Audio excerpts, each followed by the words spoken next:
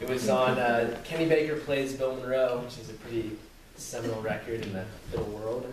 But then it was recently recorded by a friend of Wes's. Do you want to tell them about that? Yeah, my, my good friend Noam Pikelny, who's an amazing banjo player, based, uh, well, up until recently out of New York, uh, released a record called Noam Pikelny Plays Kenny Baker Plays Bill Monroe.